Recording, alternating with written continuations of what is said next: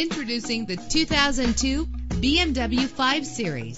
This is the set of wheels you've been looking for with a solid six-cylinder engine that responds smoothly to its five-speed automatic transmission. Premium wheels give a more luxurious look the anti-lock braking system will help deliver you safely to your destination. Tailor the temperature to your preference and your passengers. And memory settings are one of many features. Plus, enjoy these notable features that are included in this vehicle. Air conditioning, power door locks, power windows, power steering, cruise control, power mirrors, an alarm system, an AM FM stereo with a CD player. And for your peace of mind, the following safety equipment is included front ventilated disc brakes passenger airbag, side airbag, curtain head airbags, stability control, daytime running lights. Our website offers more information on all of our vehicles. Call us today to start test driving.